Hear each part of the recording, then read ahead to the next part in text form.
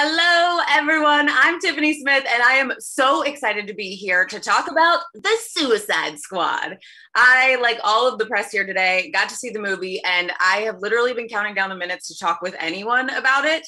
And who better to do that with than the cast and filmmakers? So let's jump right in and introduce everyone that we've got.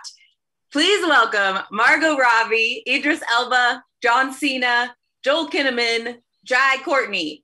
David Dastmalchian, Daniela Melchior, Michael Rooker, Alice Braga, Pete Davidson, Joaquin Cosio, Juan Diego Botto, Nathan Fillion, Mei Lang Ung, Flula Borg, with Mr. Sylvester Stallone, producers Charles Roven and Peter Safran, and director writer James Gunn. Woo! There we go. All right. First off, I have to say I'm so thankful for Zoom because I don't know how we would have done this like 20 person panel any other way. Um, and just for everybody on here, we've got a bunch of people. We've got specific questions for some of you guys. We've got group questions. So just jump in wherever you can, wherever you want to. No, don't tell them to do that. That's not good. yeah, that's not. Uh, well, maybe with a little asterisk, except Rooker. Yeah, Yeah, that's true. You're I should have started this with talking I to you. I Sid, never like, jump in. have I any slide tips? in. I slide in. I don't jump. I just jump. I used to be a jumper, but now I just slide. Okay. All right. So, like I said at the top, it was really hard because I wanted to talk to people about the movie. So, the first question is for me, for you, James. When you knew all the like big stuff that you wanted to do in this movie, how hard was it for you not to just be like telling everybody, telling your friends, and be like, "This is what I'm going to do in this movie"?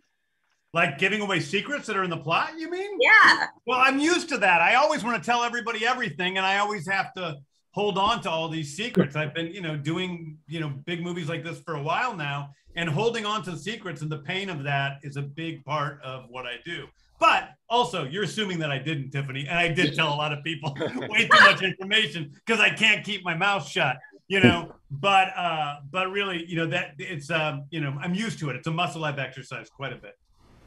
I'm just going to remind you that two of the producers are on here, and you just were like, "I told everybody." Yes. the movie's already made. We're all good. we, we, we, we, we, talk, we muzzled them a little bit. Yeah, but Chuck knows I'm an unattended fire hose. Well, that leads me into my first question. It's from Italy. We have Antonio from Coming Soon, and this one's for Charles and Peter and James. From our perspective as journalists and viewers, watching this film was an out of this world experience, something we'll never forget. From your perspective while making it, was the moment when you said to yourself, OMG, this is pure madness. This is something I will never forget? I, I felt like that the whole, like I felt like that the whole time. I could not believe that I went in with an idea that stayed stable from the first time I pitched it to the guys at Warner's, you know, with with Peter and Chuck to the very end. But I think that just the fact that I knew that I was being entrusted with this enormous amount of freedom on such a big budget movie, I really did feel a huge responsibility to people to do it the best I could, but also because I was being giving so much freedom, I felt the responsibility to take risks. And making movies at this level, it does seem like big movies are the ones that people are going to see in theaters. And if if they don't continue to take risks and change and try new things, then people aren't going to want to be coming to the theaters. If it's the same boring three act structure every time, people are going to get bored. So I really, uh, I, I felt grateful. I felt a sense of magic. I felt a sense of, of purpose and a sense of uh, almost, you know, destiny the whole time we were making the movie. And Peter and Chuck, when did you guys say OMG? Because I'm sure those letters came out of your mouth. the, the first time James came in and pitched the idea that one of the primary characters was going to be a 200 foot pink starfish. Once you get over that, once you get over that, there's nothing else he's going to do that's going to surprise you. Like once once you've bought in on the on the starfish, everything else is fair game. So there were there were no real uh, there was no real concern. And James is Oh, come right. on, what he came in and pitched You is weren't exactly surprised that he wanted me in his movie again? That was much scarier than the 200 starfish. That's true. we fought him more on, on casting you, Rooker, than we did on the starfish. What about Well, for you, Charles? Well, uh, the amazing thing about it was it was a consistent escalation of the OMG. first we heard the pitch, right? And then we heard how James wanted to execute the script and each step of the execution. Oh, we're doing that. Oh, oh, oh, oh. And we have to like do that. And so um, it was a constant upping of the wow and the difficulty. And um, it was a fantastic experience. Love that. All right, our next question is from the Philippines. Tristan from the Rappler asks James, You've been known to get the most obscure comic book characters and make them endearing fan favorites. How exactly do you select the characters you bring to life on screen? Well, I just I selected them all in very different ways. I mean, I knew I needed this kind of story I needed to tell, and you know, there were some characters like you know Harley, who I you know wanted to put in the movie, and, and Boomer, and these characters that I liked a lot, and I liked the actors who played them. Um, but then there were other characters like Polka Dot Man, and I really wanted to use a, a character who was thought of as a lame supervillain, and I literally you know put into Google who is the dumbest supervillain of all time, and Polka Dot Man always came up near the top. And being able to take a character like that and then give him heart was fun for me. I love rats, so Ratcatcher was a, an easy one. I, I wrote, you know, I wrote Bloodsport for Idris. I wanted to work with Idris. I wanted Idris to star in this movie. So it wasn't a matter so much of of who the character was. It was let's find a character who's obscure, who can build as our own cinematic creation for Idris. So every character was different. Yeah, And you know, the conversation about, but the first the first conversation was about me playing rat catcher. That was a really short conversation. Could have moved up very quickly. I have to ask, like hearing James give the descriptions, David, for you, where he's like, "What's the lamest character?" And he's like, "David, how about you?" But he's like, "I want to work with Idris, whatever character." how did that feel? that conversation go for each of you guys? No, no, that's not true. He really first said he wanted me to be Superman, and then we had to go a different direction. No, the truth of the matter is, I was very embarrassed because James, when he told me he wanted me to be in his film, first I freaked out. I couldn't believe I was going to get to be in a in a film that James is going to make, let alone the Suicide Squad. But he said Abner Krill, and I was like, uh, and he's like Polka Dot Man, and I'm like, I I was so embarrassed because James knows how much I love comic books and I've spent my life collecting comic books. And I had no freaking clue who Polka Dot Man was. And James is like, don't worry, David, read the script and, uh, and, and you'll see. And um, I read the script and it was, um, I, I couldn't believe it. Couldn't You know what's so weird? When I first read the script, without having had a single conversation with James or anyone else, no one else was announced or cast. I read Polka Dot Man with Dave in my head, and I've never met Dave Dastmalchian until this movie either. And when I spoke to James, I was like, "So is anyone else on board yet?" And he's like, "David Dastmalchian is going to be Polka Dot Man." And I was like, "That is exactly who I pictured." So I don't know what this says about Dave, but I'm so happy it was him. That's, I forgot about that. That's totally true. We were in your house in Los Angeles. Yeah, it was That's so right. weird. I forgot about that. Yeah. It was meant to be. So I know obviously we get to meet a bunch of new characters in this movie, but there is obviously characters that we know before. And this question is actually for you, Margot, from USA. Francisco at Sin Express asks, being that this is the third time you portray Harley Quinn, what were some of the traits and emotions you were most excited to play with and explore through your performance this time around? P.S. Loved your gracias. um, I loved getting to play Harley, who was in the mindset of like single and ready to mingle. Um, she, I hadn't played that version of Harley before. She's always either been very committed to Mr. J or just fresh out of a breakup with Mr. J. And um, James put in a lot of very funny potential love interests throughout the throughout the film. Uh, it doesn't always end well, obviously, but uh, that was that was kind of fun. And also to play a Harley who was, yeah, kind of in mission mode. And uh, anytime she's in a new group, there's always something fun and new to do because she reacts differently based on who who her other teammates are. So I was just looking forward to seeing what the group ensemble was going to be and what vibe everyone was going to bring and what that would bring out in Harley. Yeah. Well, I think that's the thing that maybe the comic book fan too that you love so much about Suicide Squad is seeing how different characters interact with each other in different situations. And Macarena from Argentina actually has a question about that from La Casa for John and Idris. This competition we see between Peacemaker and Bloodsport is one of the funniest things in the movie. How was it for you guys to work on this dynamic between your characters? Just go ahead, go for it. Uh, it was, uh, first of all, can I just say, hey, Sly, I love you, brother. I'm a big fan. Wow, likewise. Um, a very sophisticated acting group here, except for Mike. Michael, I should have dropped you off that cliff years ago. But other than that, it's great. I love, I love you too, my friend. um, it, it was, uh, it was a really great experience to explore, if I'm honest. You know, it was one of the things that developed. As you know, when you read the script, you sort of see the uh, the natural uh, rivalry between John and I uh, and James, and and you know the natural dynamics of the whole team.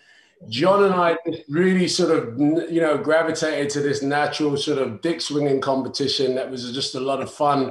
To, and then, you know, of course, you know, Viola Dave up in the beginning beginning sequence. So, you know, for us, it was really great fun. And James would really egg, you know, Idris and John on to make, you know, Peacemaker and Bloodsport really uh, pop on screen. I, I, loved every minute of it.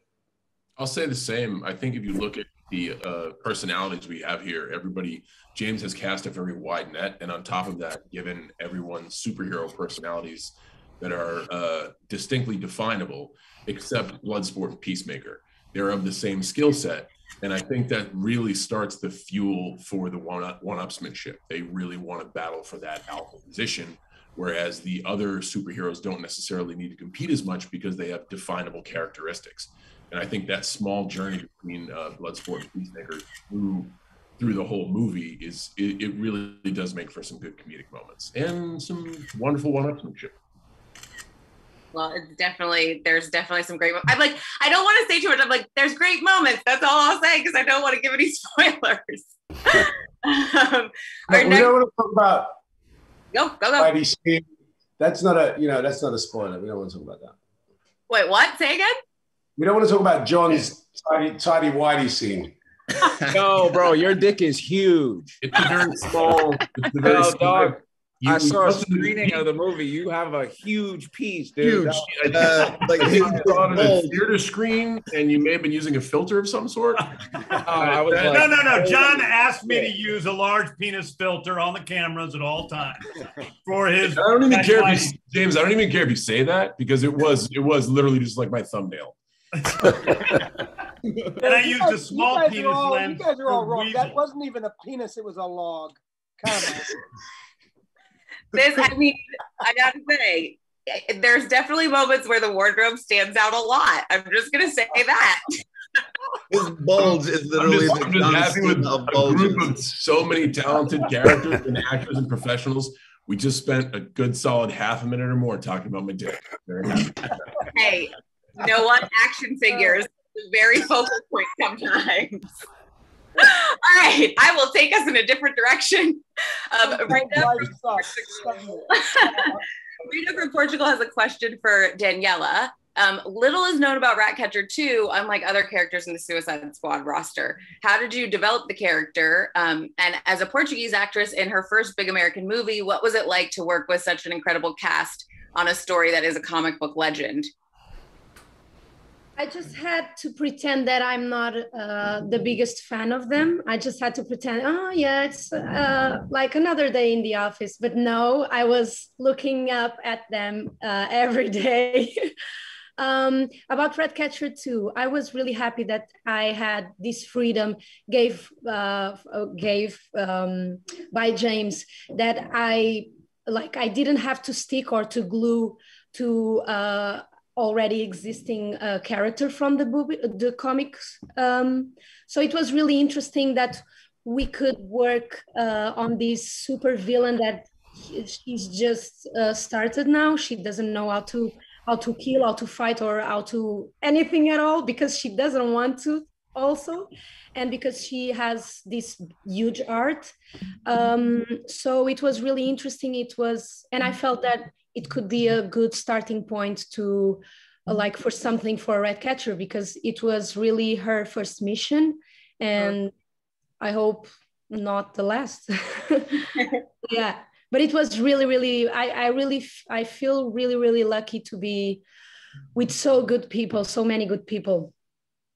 And anytime you're intimidated, all you have to do is think about how much they talk about penis size and you're good to go. no, but I never feel intimidated. I just feel, yeah. the small callback. so, coming from a character that's new to the squad, we've got a question for a character that is not new to the squad. Joel, this one is for you from the US. Josh at the Nocturnal asks, how did you get Rick Flag to stand out through your performance with so many high concept characters and performances? Well, you know, we had a good script. So I was just so happy to, to get to do this sort of new version of Flag that that that James wrote, and I got to spread some uh, some comedic wings, and uh, yeah, you know, it was it was a uh, it, it was great to get to come in to its you know it's the second time I do it, but I felt like I was doing it for the first time. And uh, me and James had a couple of conversations early on, and you know, we decided that I was not going to be bound by what we did in the first film, and just let this be a new experience. And um, and I just I had I had so much fun with it, just to, you know, just it, it was it was a completely new experience, and and it felt like it was almost a new character. That's awesome. Um, our next question is for Mr. Sylvester Stallone. This is from Fred in the US Showbiz Cheat Sheet asks, you mm-hmm. voiced animated characters in animated movies before. What was voicing King Shark in live action? Why was it different? And did you ask your fellow Guardians of the Galaxy, Vin Diesel and Bradley Cooper, for any advice? no, on the last part, but I'm a big fan of seafood. So when I was offered this, I thought, oh, well, I mean, how do I pass it? I mean, I would have preferred to play a grouper, but I'll take what I can get. I, I, did pay. I, I paid him in bundles of crawfish. He did. He, he, he, paid me. He paid me in worms and bait. Everyone needed the voiceover sessions for more reasons. They're like, he's eating fish again. Right? Put your mask no. on. well, at, least, at least you got paid. Oh, that's right. I, I was about to bring that up. Rooker had to pay me.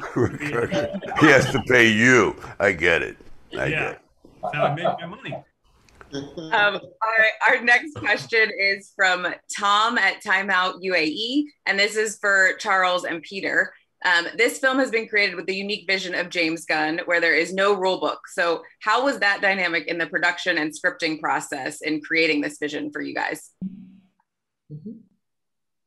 Well, I mean, it was it, it, was actually pretty easy because you know James came in with a real, just unbelievable clarity of vision in terms of what he wanted to accomplish.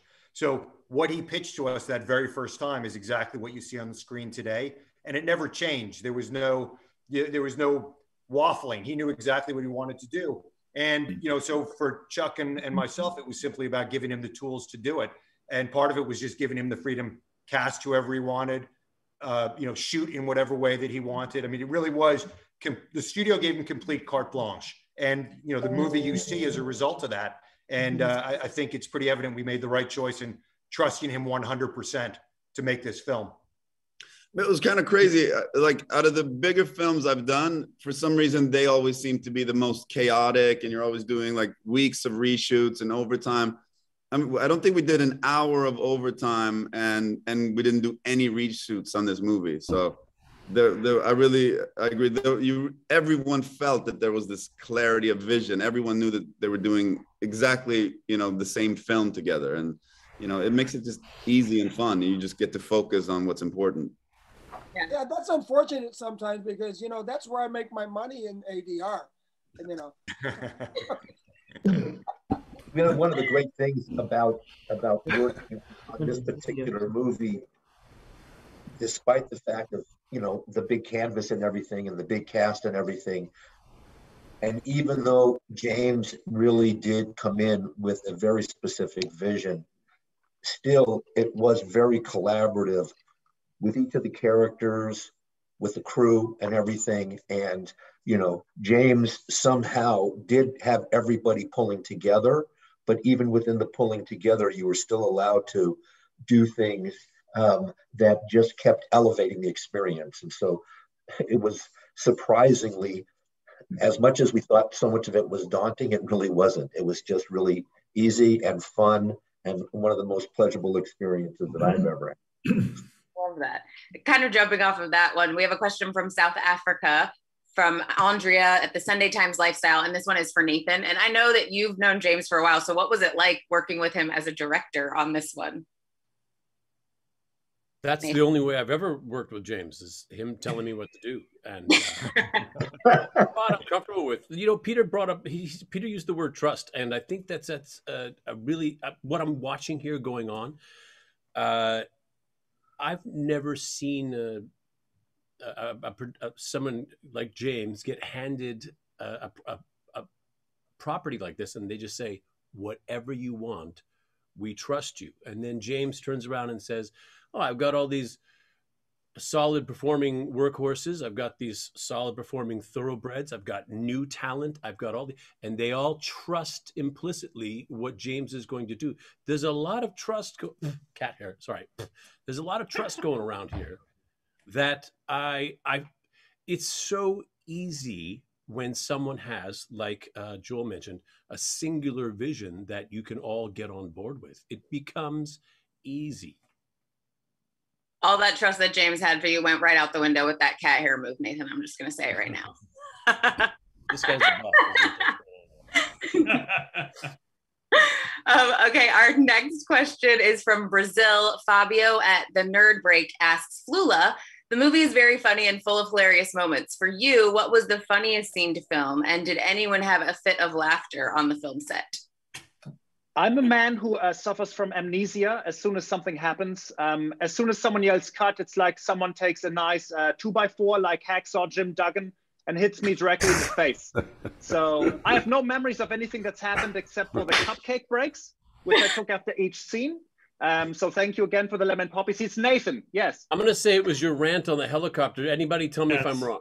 Oh, yeah. I mean, I think I Margot. Didn't stop laughing yeah. Margot, Jai, Rooker, uh, Pete, we were all John. Nathan. That that they had a conversation about uh Flula basically imagining Harley's shit.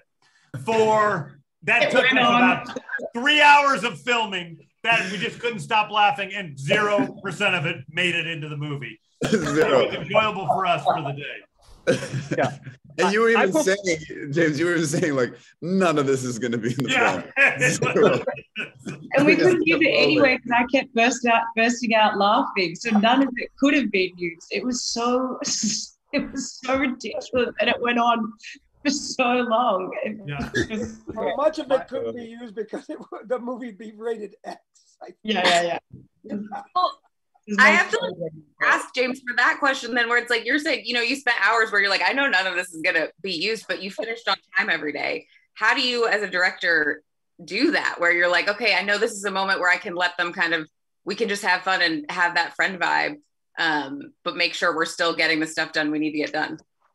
Well, that was a, I mean, like honestly, that was a day that we were okay on. I you know, I the, when I do these things, one of the, the, the tragedies of doing these kinds of uh, press junkets and things are there are so many people involved with the movie who aren't a part of this, who give their lives to this movie for a year, two years. People like Beth Mickle, our production designer, our you know AD Lars. You know these, and and really Lars is the reason why we were on time every day because he and I work together in a way that he helps to keep me under control and he under, also understands the creative part of filmmaking.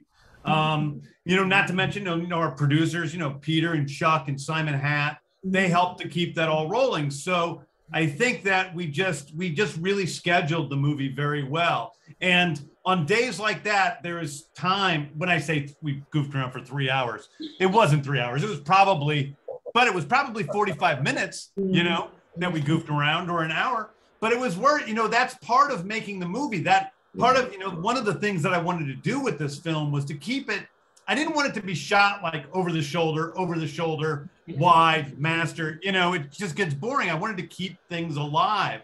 And that meant with the camera work, and that also meant with the actors when they're working together to keep it natural. Mm-hmm. And so that sort of improv and stuff, we actually don't have much improv in the movie, but doing that improv helps to make all of the other dialogue way more natural. And so that we have that feeling, it feels as if everything is improv, you know? Hey, can I just you know, also going off script like that is like ridiculous. You laugh your asses off, and it, it creates that camaraderie even more. After I don't know, all of you guys probably know you've done it yourselves. You you can't stop laughing. The more you try to stop it, the worse it becomes. So you just let it go, let it be free, and after a minute, it runs itself out, and then you're you're you're closer. You got a better scene afterwards. Hmm. Yeah. I- I- no, I just wanted to say, you know, playing a character that wasn't as well defined as a personality, you know, having James allow us to just, you know, do one take this way, now do a take this way, and now do a take that really, you know, helped me, especially, and maybe Ratcatcher 2, Peacemaker perhaps, to sort of bring these characters out. Because, you know, that goofing around really, when you've got established characters like, you know, uh, Rick Flag and uh, Margot, who do you play again? you end up sort of having to really figure out who your character is. And, and that was really part of James's technique is to just allow us to throw it at the wall you know, and I got to work, you know, obviously with, with uh, uh, John Cena, you know, genius in the terms of improv. And so that really just brought the character out and the characters out more and more. Yeah. I mean, there's definitely there's one particular scene that again I don't want to do a spoiler, but I was like, I want to be there. I want to be hanging out with them. And I think that's like you said, it's the improv and the connection that you guys all have that definitely 100% comes across in the movie, and it makes it so much fun to watch. But also John's bulge really like, I mean, it really like brought us all together. in a- Old dick. All callback. Beautiful, a beautiful callback. I really just want John to stand up and just have the tidy whities on. Oh, I do. I do. Yes, it's uh, yeah. Uh, a miniature gourd and a summer squash. It's, it's the best I can describe. Guys, I'm just surprised John isn't wearing his peacemaker outfit because I I, couldn't heard, get it through customs. I couldn't get it, so this is the closest I could do. Is that true? I heard two costumes disappeared from set. I, what are you talking about? I don't know. They, they may or may not be at the border. I don't know what you're talking about. I wouldn't want to show up to something like this in costume. I told You look really professional today, John. Thank You're all you. But I, you know, I, I prefer I prefer that peacemaker costume. I might have lifted from set, but that's all right. Thank you very much. This is amazing. okay, our next question is from Brazil. Kaio from Jovem Pan has a question for Alicia. Um, the character you play is strong, a leader, and fights for the people. How was the construction process to put that into a universe where most of the characters have superpowers? And if you could highlight a power, what would hers be? Um, it was really interesting because it's a different it's a different uh, character from the comics, but it was really good to talk to James because James had a pretty strong idea and references, even of the looks, right, James, of how Yeah. he wanted her to look in, into reality to really base her into to characters and women that do exist. I kind of like, without even speaking to James, I remember about this Kurdish group of women that are fighters, but really specific, only a woman uh, of women and I kind of like tried to get the strength for for Sol from her. But James was great because he sent me a bunch of refs of this this characters that do exist. So it was really really wonderful. Like everybody said, because he had a, such a specific idea and vision, it really helped out to kind of just open myself to it. And and I have to say it was interesting because I when I jumped there, they were already filming a lot and the energy is exactly this energy. I remember like coming in and just just saying like this is a beautiful dysfunctional family because everybody is having so much fun and at the same time really doing the work. It was really really wonderful to to to jump on board and see exactly what they said because i literally saw a bunch of pictures from set and there's not one that everybody's not laughing. It, it was even hard to to look at it because it was like everybody's cracking up all the time so it was really really special. But yeah, but the character was definitely based on the vision that James had, and and, and it was pretty pretty easy in that sense because he had such a specific point of view. So it was wonderful. If she could have a superpower, what do you think it would be? Um, I think she's a survivor, right, James? I think like being in that world in those conditions, I think these characters are always powerful enough to be survivors. Like the Kurdish women from like that I said that I took them as a reference. They're amazing fighters and deeply believe in what they believe. And I think that's a that's a superpower in a way. Awesome. Uh, our next question is from Noel from Free Malaysia Today, and this one is for Jai. Uh, what was the most fun you had while filming? Uh, watching Rooker struggle to swim uh, was a lot of fun for me. It wasn't your kissy Yeah, faces to Rooker. um, yeah, probably. We spent a bit of time submerged in water, and uh, it was hilarious for a lot of reasons. And I, you know, late nights, you're doing that a bunch. You often uh, have to stuff your costume with flotation devices. So, seeing which parts of us um, hit the surface first was very stupid and very fun and uh, and childish. And uh, yeah, I had a ball with that sequence for sure. There's a great moment in the water with you guys, Jai, where you guys are all supposed to be la- like it's a, a moment we didn't use, but where you guys are laughing at something horrible happening, and the camera is panning around, and, and it's like Jai's laughing his ass off, and Pete's laughing his ass off, and Margot and Nathan, and then we get to, Mayling, and she's she's drowning in her 200 her 200 pound costume trying to stay. There was nowhere for me to put a flotation device. There was nothing, and I was just like, everyone was on ladders or holding onto something, and I'm just like this, like, with two Swords in her hand. it's true, Hey, true. I was. I have you was- know, I want to put the record straight, okay? I'm a good sw- I'm a good swimmer. Mongal's not. Um, Bailey, let's jump over to you. I know that, like, you know, so many of these characters, once they put on the costume, once you get everything in, it's so much easier to jump into the character. How how was that for you once you got into character?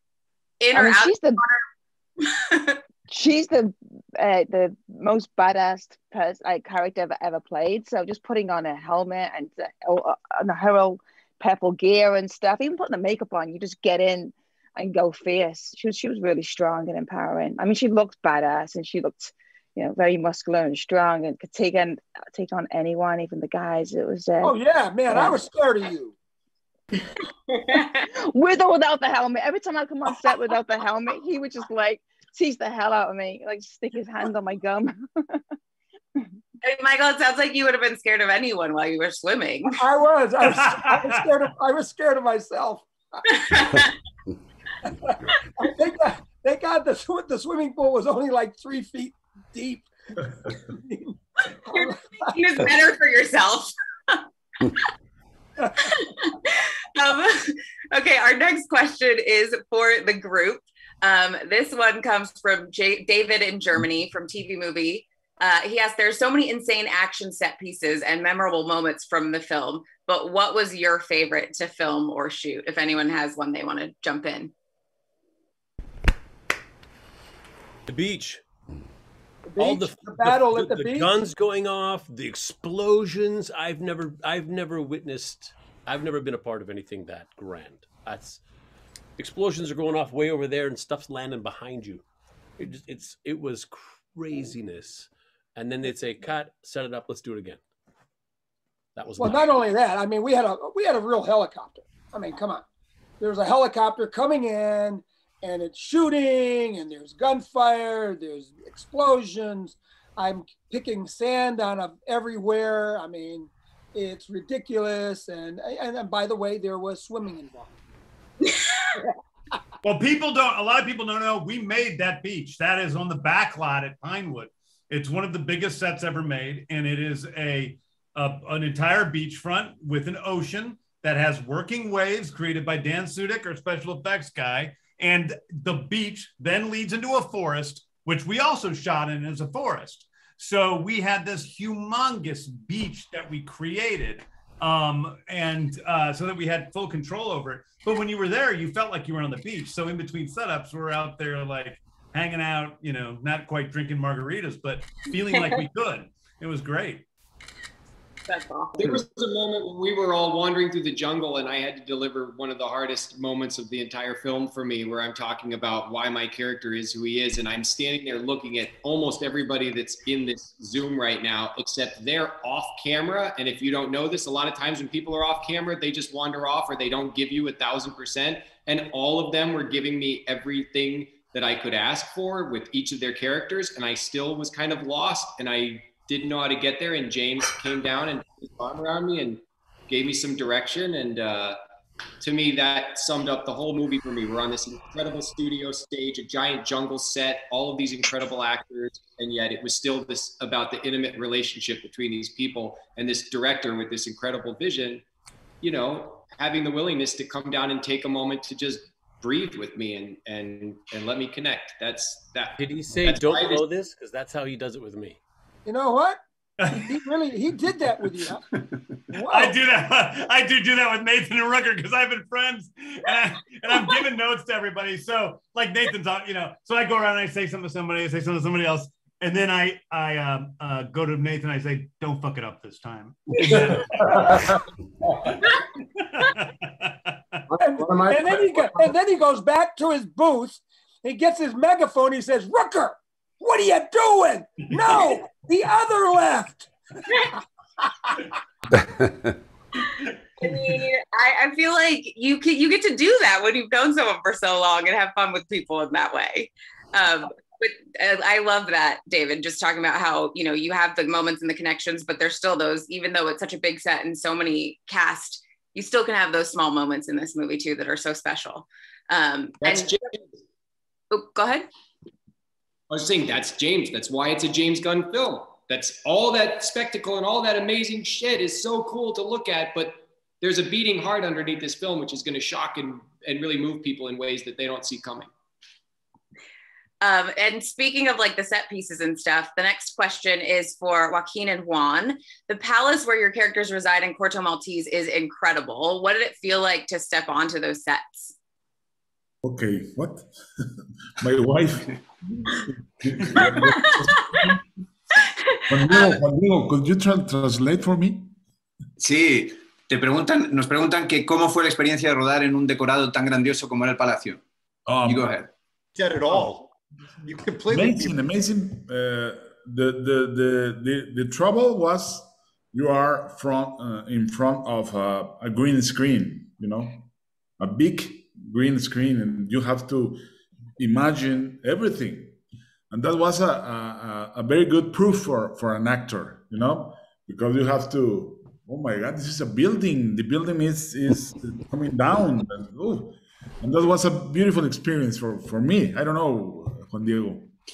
See, for me, the palace, same thing. I mean, I'm, you're used to do everything on a green screen, and the palace was actually there. Um, it was it was this wonderful, beautiful place that you can touch the chairs, the the curtains, the weapons collection. Everything was uh, was there. It was it was amazing uh, to to. Um, I mean, the construction part in this film it was it was incredible. At least the part that I had had to you know connect with it was it was great we had a lot of fun with that Uh, I have to say, there is a pretty incredible scene with you in the movie. I don't, I'm like, I don't know what I'm allowed to say or not say, or who has scenes together, who doesn't.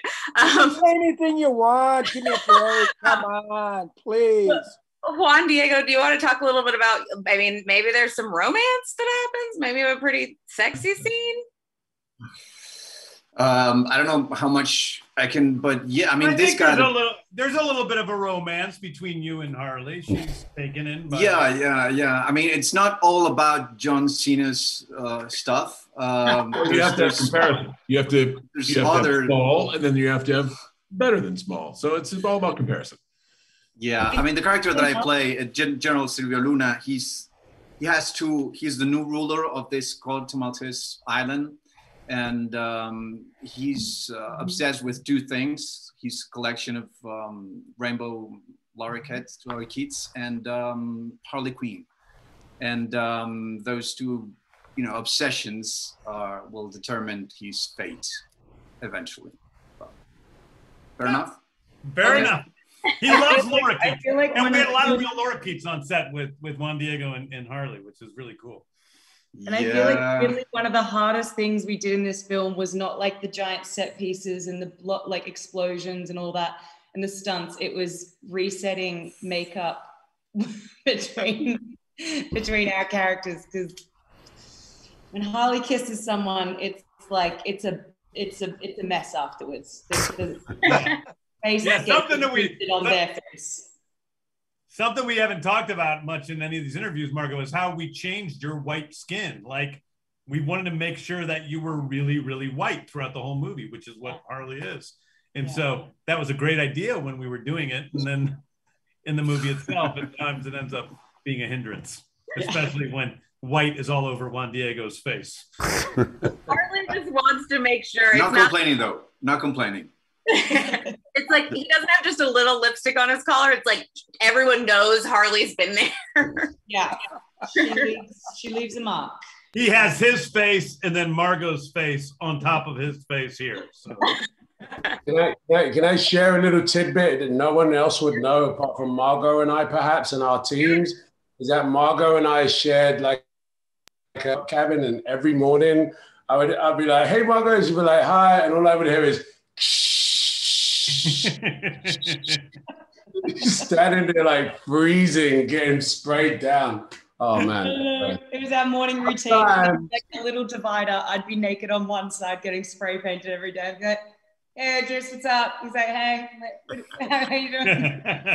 The makeup, the makeup artist had a dog that would just jump in between. She'd like half come in, be like, "Hey, what's up in here?" and go next door. Funny times, bro. Funny times.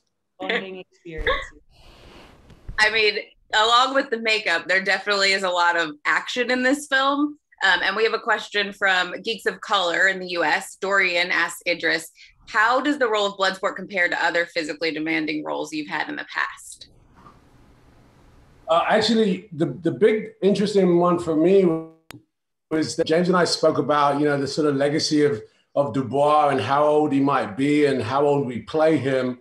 And you know, the trope is to play someone that's fit and ready to go. But I remember we had this costume fit in, and uh, you know, we we took weeks to try and figure out what the costume might look like, how it might fit. Anyway, we did this fit in, and I said to James, doesn't fit like it used to. And he laughed about that. And we ended up sort of playing that. I don't know if it even got in the film, James, but I remember we played the idea that, that his, his, you know, he's been in jail. He's not as fit as he used to be. You know, he's an older dude and he, you know, and he's he's still handy. So, you know, I've played characters that are at the prime, you know, of their physicality, but this guy, he was a little heavier, a little rusty, and, and James wanted to sew that into the fabric of his, his journey as a character. It was a lot of fun to play. That's awesome. I love it. I, I feel like it's such a fun thing because these characters are, like you said, some of the lesser known characters, or you can have a little more fun. You can poke fun at them. They don't have to be the perfect superhero all the time. So that's a definitely fun add in. Um, our next question is for Pete from Graham um, out of the UK at Gamer No way. Yes, way. All right. is out of everyone, who do you think has the worst powers or ability? Uh, probably uh, me. I don't. I don't have any powers uh, at all. I just have guns uh, that are strapped to my chest. So I, I guess me for sure. Uh, but I had a, I had a great time, and uh, the people on set were very kind about um, allowing me to hold the guns. Usually, when I'm on sets and stuff, they take away the fun toys because I like play around with them, and they were really nice and they let they let me hold them.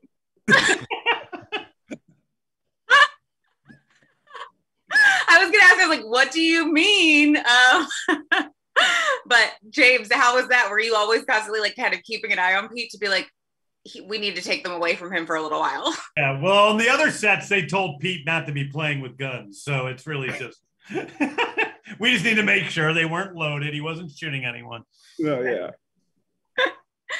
Um, how much fun is it for all of you guys? You can jump in here. I know you know you do films and not all the time everybody gets to be together like this but even having a moment like this on this panel with everybody and getting to see everyone's faces how great is that to get to experience a film and enjoy seeing each other and connecting like this again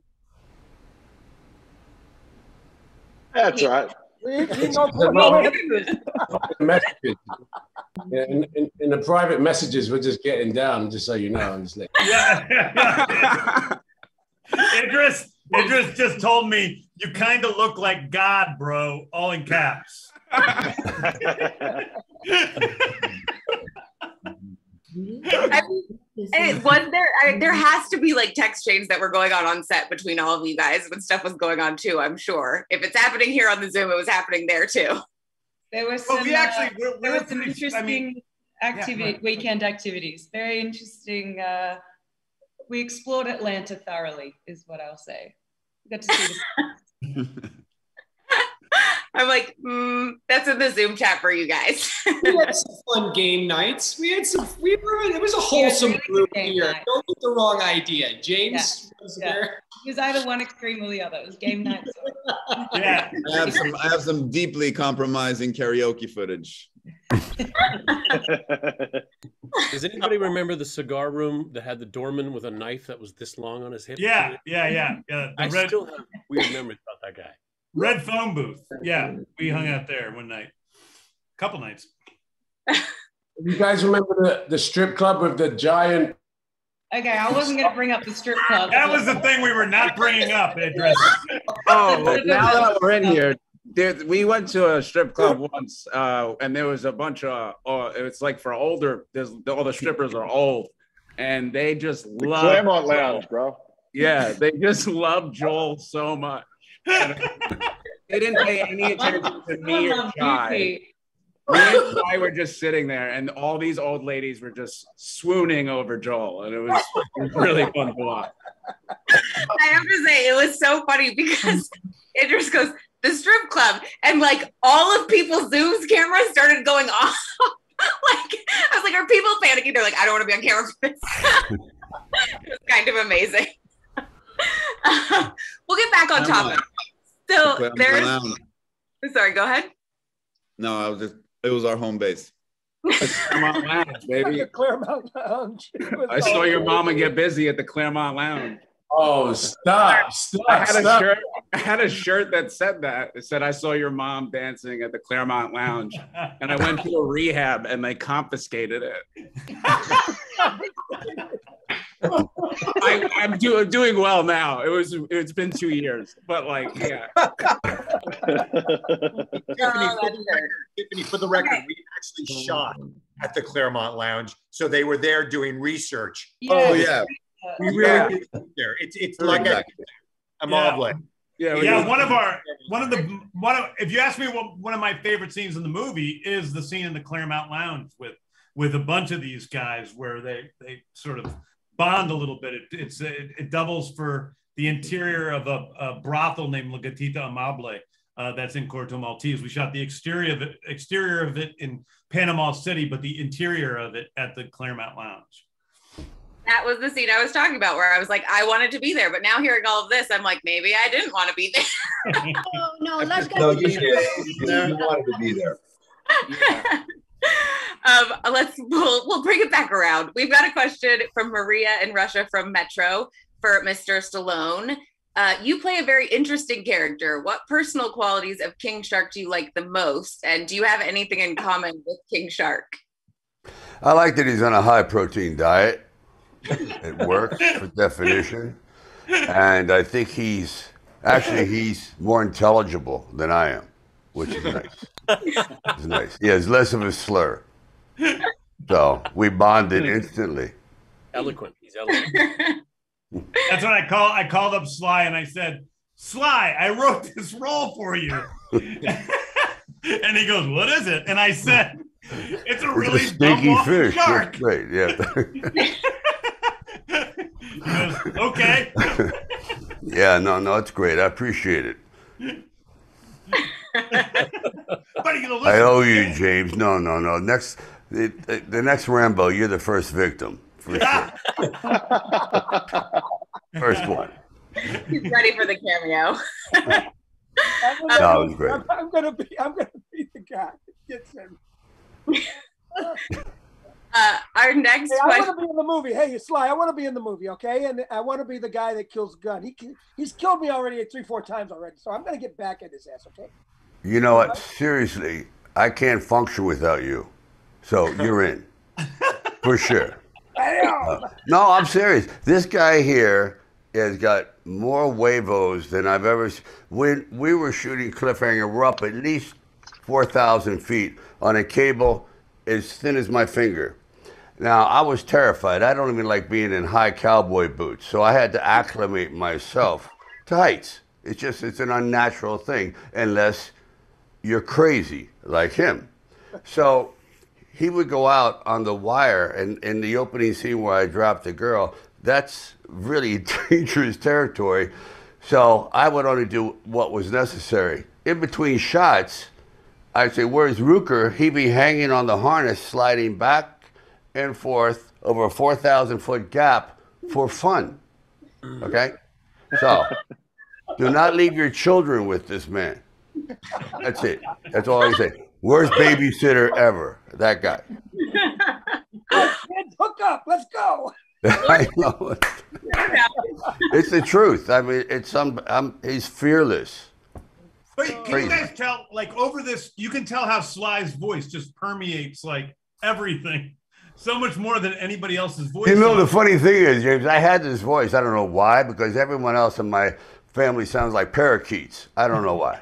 But it, so I had this at like at 13, 14, and I'd, you know, call up a girl and say, uh, the father would answer, Hi, is Sue Ellen there? And he'd go, Excuse me, how, how old are you? I go, 13. And he goes, You better get your ass over here. And I'd pedal over there on a bike. So I looked like one of those, like these guy that would gargle with Drano. So I always had this voice that got me in a great deal of trouble. So I'm glad it's finally paying off. Right. Really appreciate it. I think I think you're I think you're good to go. No, it's like I sound like an Italian pole bearer, but I get it. I get it. It's okay. Um, we've got one more question. This one is for John. Um, I don't. I'm like, do I want to ask this one? We're gonna go. We're going for it. From Steve in New Zealand at Flicks asks, "Good Lord, that's a costume. What changes you when you dress as Peacemaker?" Oh, I think it's the ability to be peacemaker, and everybody I got to work with on set, I think, knows the difference between uh, who I am and, and certainly the character. Uh, I really just felt bad for James because uh, my favorite part of the costume is the chrome helmet, but it's the absolute worst because it's EG everything out because it's a mirror image of all the cameras shooting back at you. So the thing that I really enjoy the most is the most ridiculous piece of the costume, but it was also one of the most difficult things for James. So Dude, I the mean- most ridiculous piece of your costumes are your tidy whities. That's it's just that's No. just the baseline. I was That would be trying not to piss always people off dick there. jokes. I had a load of dick jokes, you know. I saw I had a I saw us in a screening with like 20 people, and the first thing everybody said after the movie, besides it was great, was like, "Yo, Cena's dick is crazy." again, once again, crazy is probably a good way to define my dick. It was all my all my uncles too. It was all my uncles that like love wrestling and shit. They were like, "Yo, I didn't know Cena was like packing like that, bro." That's. Uh, thank, James, thank you for the filter. I appreciate that. I had, I had two demands. I had two demands. I wanted to keep a costume, and I wanted him to use a filter on my dick, and he did both. what did your uncles have to say about Weasel's penis? Were they? no, they they laughed uh, a lot at Weasel. They they they said Weasel, I think, was their favorite, and well, they can't. I'm not saying anything else. it was like a, but no, all my all my middle aged Italian uncles are obsessed with your bulge. So I just Okay, I feel like there's someone someone right now is literally making an Instagram filter. for this. Oh, for sure. I can't wait to see everyone using it. Um, we've got one last question, and this is for everybody. I want you to all answer at the same time, okay? Um, so this question is let's just 15 inches. Sorry. Oh, I'll count you in, okay, Pete? Uh, let's pretend for a second that James is the Amanda Waller of the squad film universe. If he came to you and asked you to go on another mission, would you go? Three, two, one. Of course. Yes. Yes. Yes. Naturally. I'm down for any Oh, mission. Swag says no. He's like, fuck them. No, sorry. Trick question, guys. If it's Amanda Waller, it's a suicide mission. That's the trick question. As long as I get paid this time. that that is amazing. Um, I was like, there's gonna, there's always gonna be one that says no, but I, I mean, just from talking with you guys this whole time, I was like, I know most of them are gonna be yeses. Um, James, how does that feel for you? Like getting to have the freedom to create this movie like you wanted, and then after the fact, having the cast and everyone feel so excited and so like a family after the fact. I, I love I love each of these guys, each of these guys and gals as as people, like very very honestly. And as a director, what I really loved about them is they were all so incredibly good and incredibly professional um, the whole time, and so prepared coming to set. And it each created these these great characters. That that's really where some of the magic came from. Those they're all my collaborator collaborators. We made this movie together, and all of them had something to add. Not so much Rooker, but the rest of them. Uh, exactly. I was feeling I was getting bundled together with Rooker there, and I I'm couldn't. sorry. I'm sorry. Oh, no, I, I, I gotta tell you, I'm never, I've never been an adder or, or a giver. I'm always, a, I take as much as I possibly can. But it's really it's a it's a blessing. This is the best cast I've ever worked with, and it's uh it's a it's been a real fantastic experience. And that's everybody from the people that acted, you know, for less time and more time, and every single person. Honestly, not a bad apple in the group for real. Well, I can't wait for everybody to see it and everyone to be able to talk about some of those big moments and big scenes that are in the movie once it's all out there for everybody. um, it's such a such a pleasure to talk with all of you guys this morning. A huge, huge thank you for all of you coming out here, being on the Zoom with us, and for all the press for sending in your great questions. Um, Suicide Squad is going to be in theaters and HBO Max in the United States starting August 6th and various international dates starting July 28th. Thank you guys all again so much. I'm going to be going. you. Thank you. Thank you. Bye-bye.